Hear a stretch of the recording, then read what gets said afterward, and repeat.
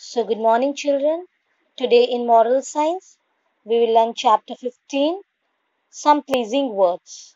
Pleasing words, okay? Please give me a pencil. Please help me. The simple word please is a magic word. It is a pleasing word.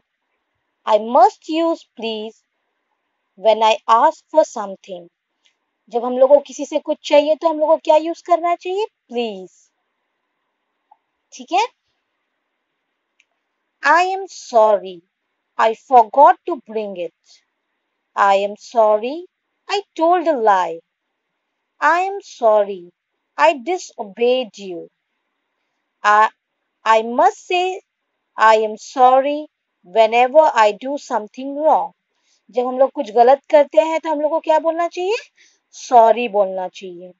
I can say this to everybody to my father mother brother sister teachers friends and even to are younger than me हम लोग sorry सबको बोलना चाहिए, जिस, जिसके पास भी हम लोग जो भी गलत करते हैं, जैसे पापा, मम्मी, भाई, बहन टीचर फ्रेंड अगर हम लोग कुछ गलती किए तो हम लोग को सॉरी बोलना चाहिए। जो भी हमसे छोटे उन्हें भी सॉरी बोल सकते हैं।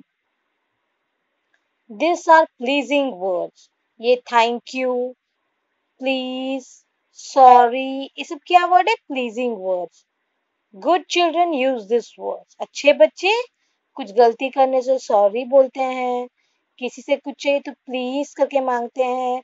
कुछ मिला तो थैंक यू बोलते हैं। ये सब प्लीजिंग वर्ड्स है okay so read this chapter twice